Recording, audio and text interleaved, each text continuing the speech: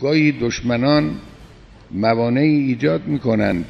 بله عاقلانه است که انسان برود با تدبیر این موانع رو برطرف کنه. اما اطمینان به دشمن نمیشه کرد. یک تصور غلطی در اینجا وجود دارد و او این است که آقا ما با آمریکا می‌تونیم کنار بیاییم.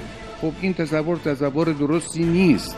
این حرفی است که بنده البته از یک سال یک سال و نیم پیش هی تکرار کردم که با آمریکایی‌ها نمی‌شود اعتماد کرد. از این آقایی که تازه آمده از این چرا متشکره فساد سیاسی فساد اقتصادی فساد اخلاقی فساد اجتماعی در دستگاه حاکمه آمریکا رو ما می‌گفتیم. این آقا آمد در دوره انتخابات و بعد از انتخابات اینو علنی کرد اوریان کرد. الان هم با این کاری که داره می‌کنه نشون میده که آمریکا حقیقتش چیست.